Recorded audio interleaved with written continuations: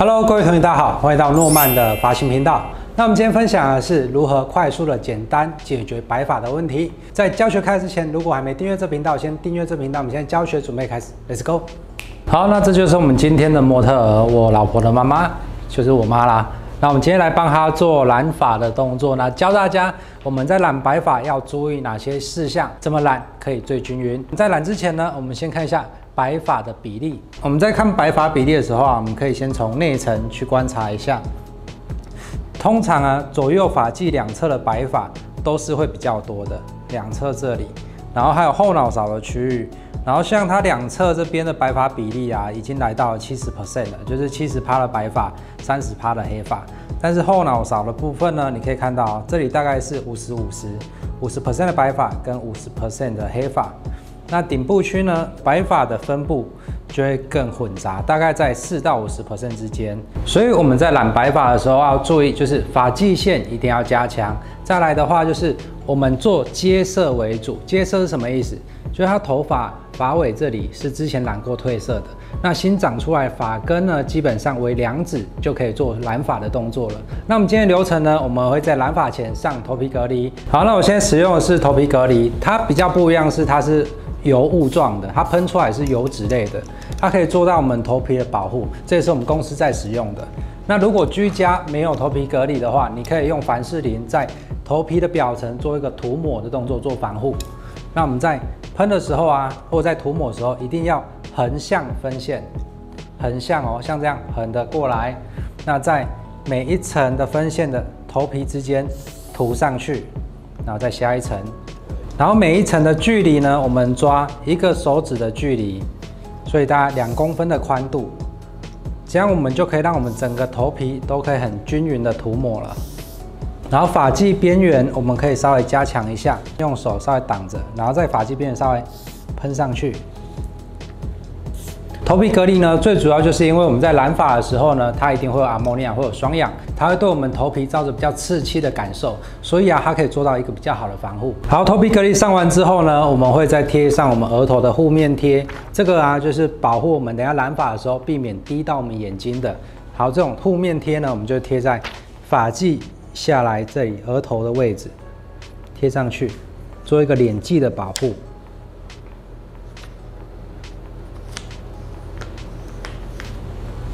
好，染前的前置作业啊，就是这几个，我们戴头皮隔离完成，然后防护做好，就可以来染发了。所以染发要戴手套吗？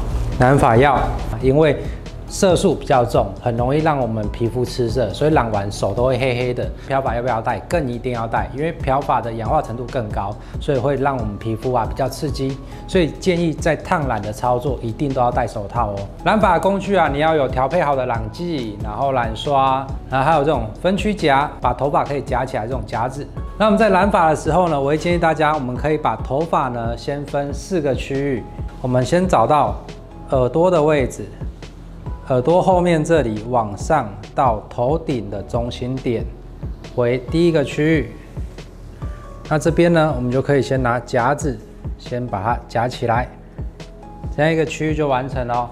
然后再来转到后面后部区这里，直接画一半分线，然后分两边，这样一个区域，两个区域。三个区域跟侧面四个区域。好，那如果是新手在操作的时候呢，我会建议啊，大家可以先从两侧区开始操作，因为啊，新手很长，就是我们在染发在调配药水的时候不知道用量，所以有时候可能调太少，调太少的时候你要再调，它就会有过色的时间。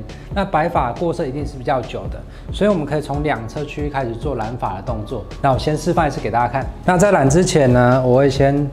沾上一点染膏，在交界处这里先涂上去。这个用意啊，就是可以让头发比较好粘黏，让它不要整个粘在一起。包含侧边这里也是一样。我们可以先薄薄的涂上一点染膏，这样它头发就不会毛躁飘来飘去了。好，完成这个动作之后呢，我们再来每一片头发分大概一指的宽度，然后手。垫在下面，然后粘上我们的染剂，这样平行涂放。记得哦，涂放的时候我们有距离头皮零点一公分的位置，再用梳子往内梳，然后再往内带进去。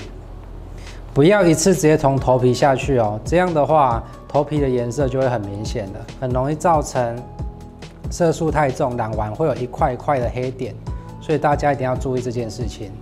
好，完成第一片之后，我们再来第二片，分线为一个指节的宽度，手垫着，由上往下涂抹，预留零点一公分，然后把。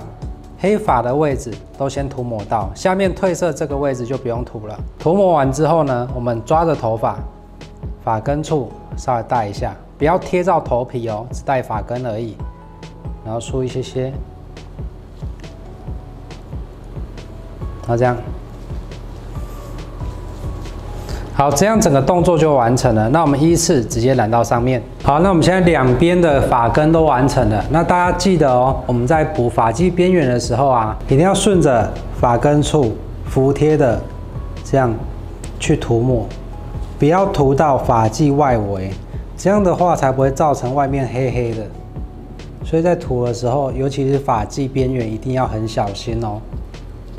好，那接下来我们要染后部区了。后部区一样，在染之前呢，我们在交界处啊，先叠上染膏，在交界处两边都要涂上去，因为啊，这样你的头发就会被你的染膏粘附过去，它就不会乱跑了。然后完成之后呢，我们就从其中一边开始操作，然后分区一样是一个指节的宽度，然后涂抹这里的时候啊，记得发际边缘都要先涂抹，然后角度提拉往上哦。往上提拉完之后呢，再放下来，再涂抹内层，梳一下。好，这样一片就完成了。那我们来准备下一片，分线下来，头发往上提拉，然后内层涂抹完了，再来放下来，再做涂抹的动作，然后再梳。所以大家记得这个动作。上、下、梳这三个步骤，就可以很均匀的去染完这一整个头发了。好，那接下来呢，我快速把后面这个区完成，完成之后教大家如何检查。好，那我们染发到这里就完成了。那接下来呢，我教大家做最后的检查动作。检查的部分呢，我们就是直立分线，由上往下分出来，那反方向提拉，在发根处稍微。检查看有没有染得均匀，来再看一次哦。直立分线往下分开，然后往中间集中，由上往下分线。有没有发现呢？我在分线的时候有一点点下斜线。因为如果都是直线的话，它的区域太长，你检查效果会没那么好。所以呢，我其实在分直线之外，我会再分一点点下斜线的效果，这样检查起来的精准度是最高的。好，后面完成之后，我们就到侧面，一样哦，连贯的哦，由上往下分下来，把它往后带，集中在后面的部分。这样头发也就不会乱跑了。然后戴的时候，我们可以用梳子往后梳一些些。然后另外一边也是，到发际边缘一样，顺着往后服贴。好，全部检查完成之后呢，头发基本上都是梳到后面的，这就是我们常运用的十字检查法。那完成到这里的时候，我们停留时间二十分钟。二十分钟之后，我们冲水起来，让大家看染完的效果。好，我们停留时间也冲洗完了，那大家可以看一下哦，它整个的颜色啊，均匀度就会变得比较好了。还特写给大家看。好，大家可以看到，我们这样染完啊，发际线呢就不会黑黑的，然后白发呢就被处理掉了。原本呢，我们这边整块都是白色，对不对？那现在它已经变成黑色了。然后我们到后部区一打开，就可以看到它的颜色呢有没有白发，很明显。如果没有呢，就表示我们染完是完成是 OK 的了。好，最后我们来做染发的重点讲解。一开始在染的时候，记得一定要先涂上头皮隔离，再来防护先做好。完成之后呢，我们分四个区域做染发。左右跟后面总共四个区域。染的时候呢，新手我们从下面一片一片的往上染，染到顶部区，左右两区完成之后，再染后部区，整个完成再做直立分线检查，这样就是一个很好的十字分线检查法。整个都完成之后呢，停留二十分钟的时间，这样染法就完成了。你学会了吗？影片分享到这边结束了。如果对今天影片内容有任何问题，可以在这影片下面留言告诉我，我一一回复给大家。如果没办法回复的，我再拍影片给你分享。如果觉得今天影片对你有帮助，记得帮一个喜欢。这边附上 IGFB，有任何问题都可以私信或跟我预约。那今天影片到这边结束了，下部影片见，拜拜。